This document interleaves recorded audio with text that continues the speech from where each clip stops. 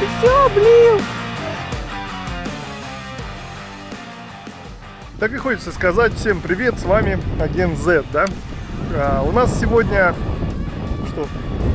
Сегодня рыбалка. Да, у нас сегодня рыбалка. На самом деле первый не жаркий день, сейчас середина августа, обычно было плюс 30 где-то, плюс даже больше. Это плюс 30 в тени, да, и плюс 35 на солнце. Первый не жаркий день, которым мы решили воспользоваться, точнее, агент Z просилась на рыбалку на щуку и решили не упускать этот шанс и поехать попробовать половить щуку, к тому же уже пора. Кстати, щуку мы с Глебусом уже половили, сейчас очередь агенту Z, ой, кто-то пытался укусить. Ссылку на рыбалку с Глебусом я оставлю. Надеюсь, что и с агентом Z тоже что-нибудь получится. Ну, в плане рыбалки, конечно же. Вообще там с севера сейчас идет большая туча, и мы находимся такой пруд, болотце. И если здесь бахнет дождь, то вы, наверное, увидите а, новый Ночевку. формат видео. Да, выживание В машине. 24 часа, потому что без еды, без всего. Но надеюсь, все-таки этого не произойдет. А сейчас будет другое шоу, потому что агент Z, он очень самостоятельный человек. И она сейчас будет... Женского рода. ну, ладно. человек он-то мужского. А, и сейчас она будет собирать большую лодку, да? Я конечно. надеюсь. Я взял специально стульчик, пепси-колу, сейчас буду сидеть, смотреть, в общем, кайфовать. Чтобы ты, так сказать, попробовал уже серьезную, не на каяке, а на чем-то этом. Кстати, рыбалку, где агент Z соло выступал на каяке, даже что-то поймал, я тоже оставлю. Выступал. Ну, выступал, ты ж выступление. Выступала, давай. Выступала. Да, да, я. да, да. Ладно, все, давайте рыбачить. Смотрите, какая красота. Пока я отдыхал, агент Z собрал лодку, спустил на воду, удочки взял, сел и ждет мужа. Класс вообще. Единственное, что устал я отдыхать, вспотел весь. Фу, жарко, жарко просто лежать. Друзья, ладно, пойдемте порыбачим. Все, Застрял. да. Ну давай перелазь вперед, а я на весла. Что б я без тебя делал? Да? Да вообще. Что Теперь- ты вообще без меня делаешь на рыбалке? Да, да, я вообще сам не знаю. А где кресло? Тут нету кресла, да? Да не, кресло я еще не поставил.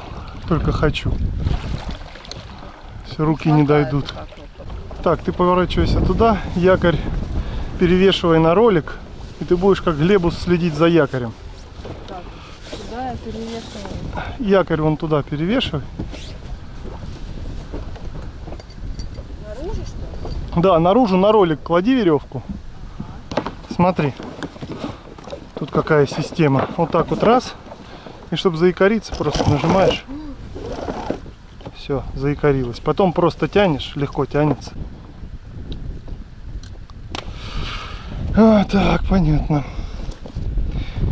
Кому что, а рыбе зонтик. Несмотря на то, что мы рыбачим сегодня, можно сказать, на болотце, на маленьком пруду, я все равно ставлю эхолот, который мне поможет искать э, не то что рельеф там какой-то, а прогалы среди травы и просто быть глубиномером.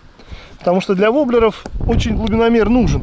Собственно говоря, вот этот шарик, это и есть эхолот. Deeper Pro Plus называется. Он по Wi-Fi мне на телефон передает информацию, и там уже программа обрабатывает это ну, в данные эхолота. Вы это будете потом у меня на мобиле видеть.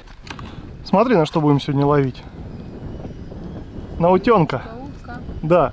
Сейчас мы поплывем вот туда, э, в конец пруда, и там как раз вот такие все мелководное будет, и где будем ловить вот на такого вот утенка. Кстати, этого утенка мне прислал мой товарищ, мы в интернете познакомились, Алексей из Финляндии. Он, у него есть на канале, у него есть свой канал, у него есть видео, которое набрало дохренища просмотров, как он на этого утенка ловит. И после этого видео я как раз попросил его прислать мне, чтобы тоже попробовать. Я ссылку на это видео внизу ос- оставлю. Ну и сейчас поедем проверять его, собственно говоря, в деле. Ты погромче только говори, из-за ветра ни хрена, прям можешь кричать. Прикольный утенок! Так, поднимай якорь, давай мы немножко сместимся туда, сейчас попробуем мелководные воблеры погонять, а потом непосредственно по- поедем уже утенка испытывать. Так, сегодня у нас, я так понимаю, будет рыбалка-обучалка, потому что Злата ни разу не ловила воблерами. Ну тут смотри, тут вот забрасываешь вот так вот под кусты, но лучше не сильно в кусты, и потом вот начинаешь вот так вот рывками вести. Пока просто попробуй, подергай, как у тебя что будет получаться. Я потом тебе уже расскажу про ритм, про паузы и так далее. А пока просто веди. Можешь иногда равномеркой просто вести. То есть закинула, повела рывками, потом закинула в то же место и ведешь А равномеркой. Как он ведет в воде, когда я так дергаю? Ну, он, как бы это называется твичинг. рывки. И он, видишь, как в воде. И все зависит от удочки. Какой ты удочкой дергаешь, э, мягкой, твердой, он по-разному вихляется. Ну и от воблера, естественно. Вот этот воблер можно вести Он как рывками. зеленый, да, он цвет меняет. Но он же боками блестит. Этот воблер можно вести как и равномеркой, так и он всплывающий. Этот называется дайва маритан. Ну и тяни ее и радуйся. Это будет здорово. Да, конечно. Если что-то слышишь удар в воблер, просто тюк у тебя в руку передастся, удочка чувствительная, то это значит щука, и ты ее сразу дергаешь. В общем, пробуй аккуратненько закидывать, и это выше, выше поднимай. Поднимай почти до самого конца. Вот так. Ой.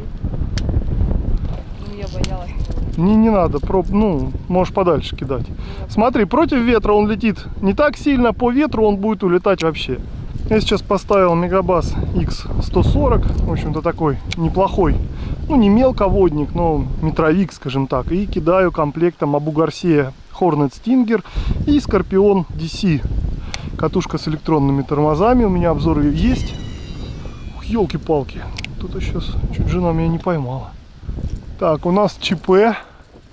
Не знаю, что я тут этот. Душку забыл открыть на катушке и утка вон плывет. Сейчас мы будем спасать утку. Да, поняла? Да.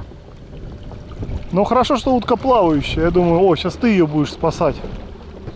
Да. Агент Z, ну недаром ты ж, ты спасительница уток будешь. Финских уток. Но мы и собирались, да, переплывать на другое место. Я тут решил просто кинуть. Так, ты на колени становись и пытайся ее рукой захватить.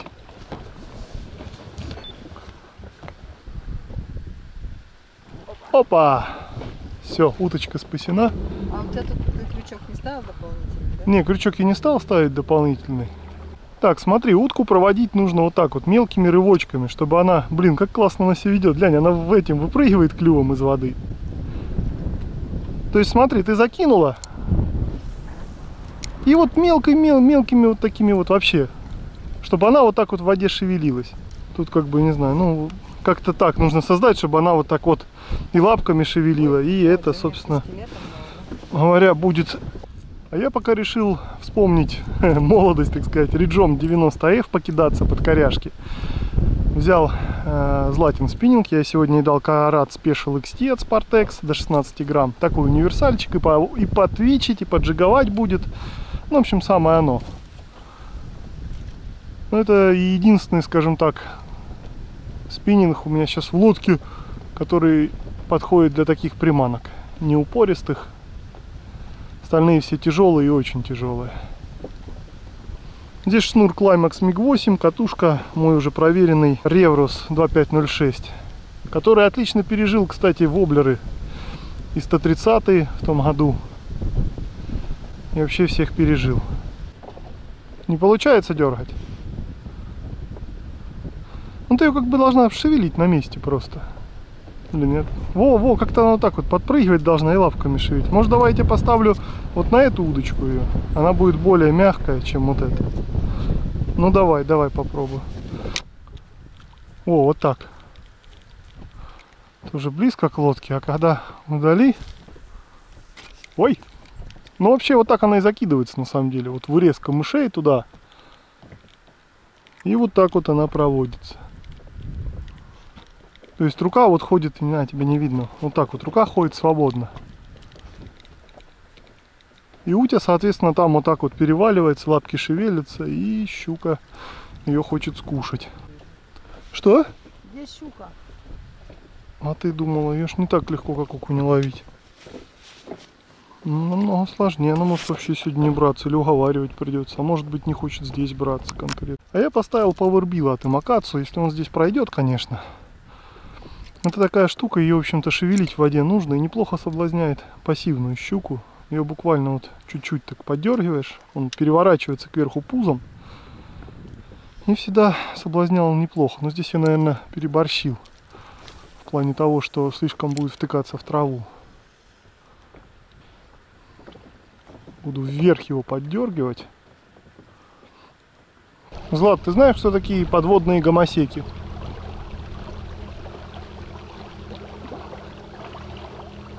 Это бобры. Потому что вот это они делают, видишь. Делают себе здесь такие запруды, из-за этого страдают пруды. Иногда огромные деревья прям перегораживают и ничего не сделаешь. Давай вот здесь, якорись, якорись. Да, а что на него смотреть? Рожа во, зубы во. Кошмар. Ну вот, собственно говоря, сейчас такие места давай облавливать. Тут и смотри и справа, и слева как раз. Ты пока почему-то у тебя далеко кидать не получается. Ты как-то порезче кидай. И так вот под коряшкой кидаешь, там ведешь. И щука вы- выпрыгнуть должна, по идее.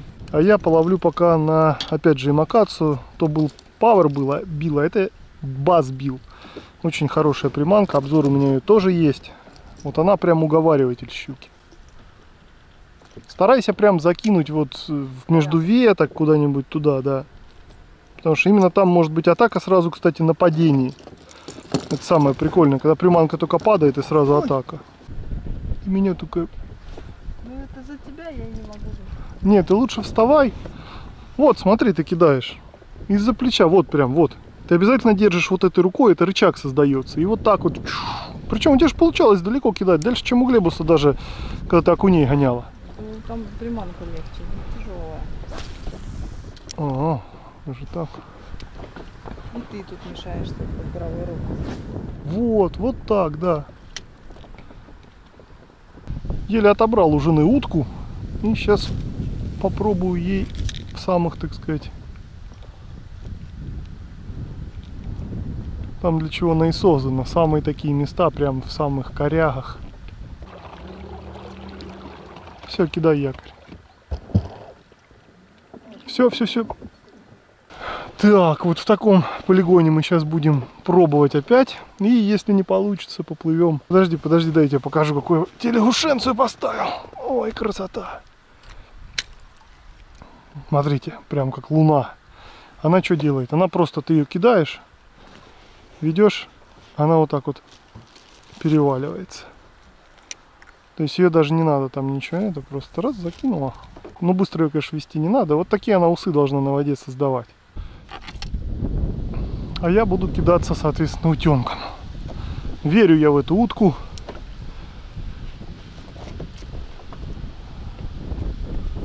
Ну, покажи мастер-класс, только меня не...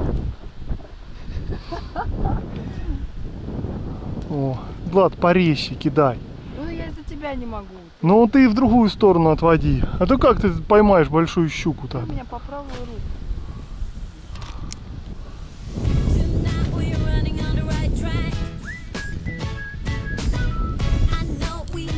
А теперь поппер. Сейчас будем булькать злата. just wanna have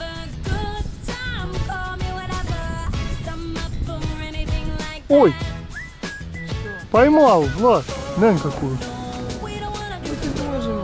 Да, все, видишь. Да, рыбалка удалась.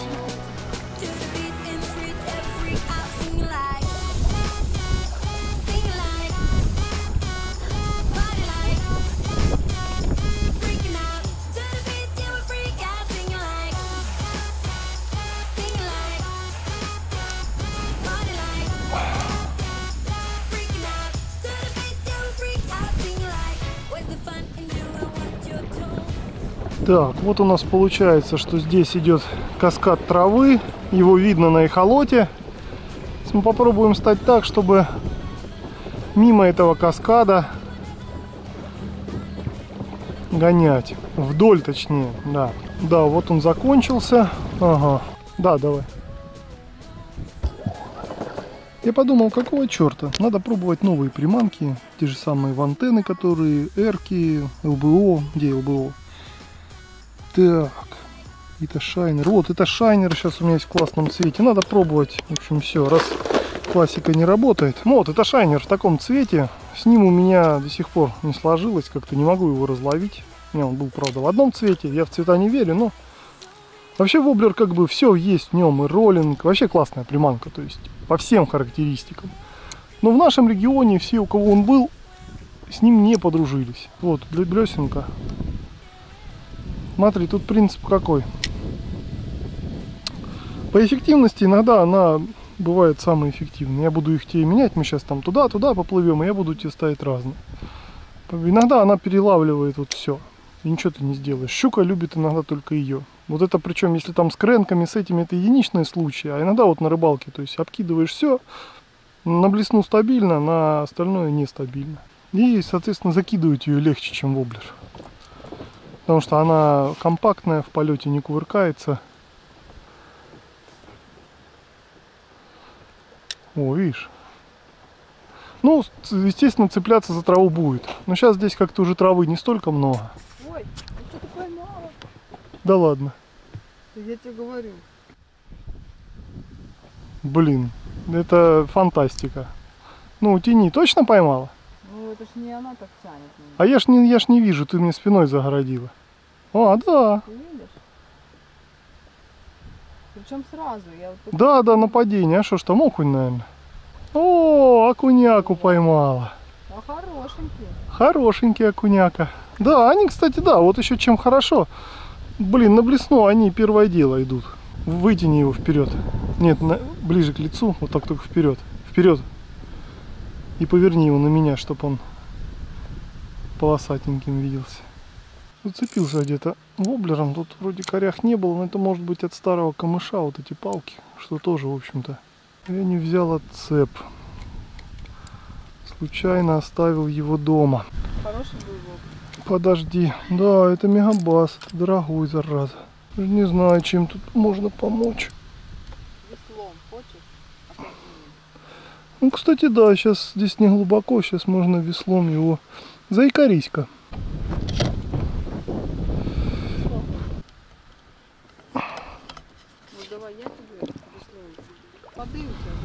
Да, весло набрало воды и выскочило из руки, и в итоге лишились весла.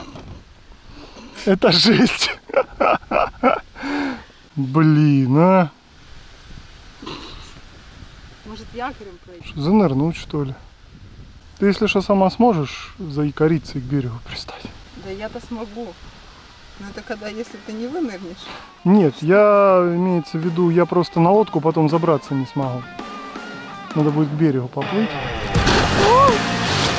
Ай, ты все облил. Ну как водичка? О, весло! Давай, давай, давай, давай. Зря прыгал! Оно все-таки воздух там остался, ну ладно. Ну хорошо. Одним меньше нырять. Вообще, смотри, это воды натечет. Так, ты тут осторожней, потому что удочка.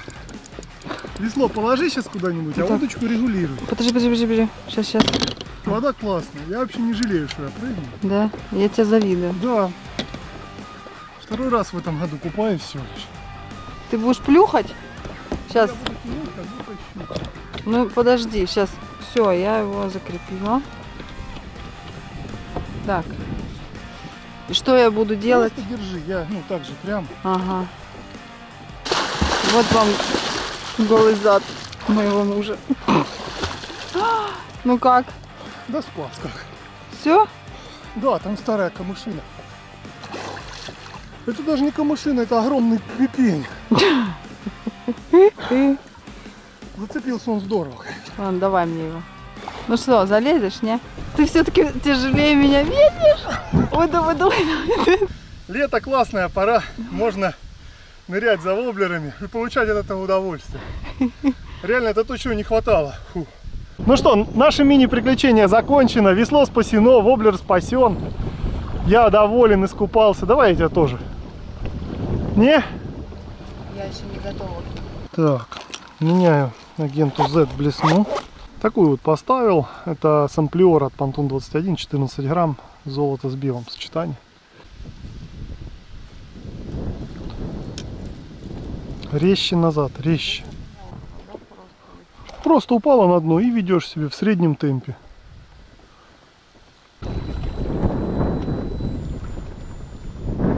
Все. Ну а теперь я расскажу, что же было дальше на этой рыбалке. У агента Z целый день не получался нормальный дальний заброс спиннингом. И тут ни с того ни с чего стоило мне поставить ей только свою новую блесну, как она запулила ее в камыши, да так далеко, что я не уверен, что сам бы смог туда закинуть. Ну и естественно ничего хорошего с- из этого не вышло, потому что шнур перетерся видимо о камыши и не выдержал, блесну спасти не удалось. оторвалась. В общем, я решил не испытывать судьбу, да и ловля нам предстояла в корягах, поэтому я поставил ей неогруженную резину и попутно ответил на вопрос одного из Хочу. подписчиков. Агенту Z поставить неогруженную резину, точнее слабо огруженную. А, или хотя, в принципе, ну, вот этой вот покидалось, чтобы ты прям в камыши туда, она не зацепляющаяся. Это релакс Ахая называется. Чем она мне нравится, то что здесь вот... Мне кто-то спрашивал того, что он обрезает вот эти вот плавнички, чтобы крючок как бы нет. Наоборот, их обрезать не надо, потому что крючок за него прячется, и хищник его так или иначе продавливает. Зато незацепляемость лучше, чем у любой другой приманки. И забегая вперед, скажу, что этот расчет оказался верным. Но для начала давайте я покажу, как у меня на воблер клюнула щука. И жди, пока на дно упадет, да.